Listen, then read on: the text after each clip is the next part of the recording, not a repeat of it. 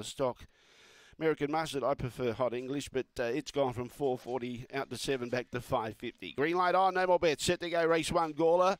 Away in racing, Vermiculite was one of the last out, but slower out was American Mustard and also Special D. Down the back they go. Molly Holly's got the inside. Vermiculite starting to stoke up, but in the meantime, surging forward now is One Storm. One Storm took the lead. Vermiculite looms up on the outside, gets level. Special Deed and Finish Soul behind those. Well back was Molly Holly and also American Mustard, but Vermiculite is going to be too good.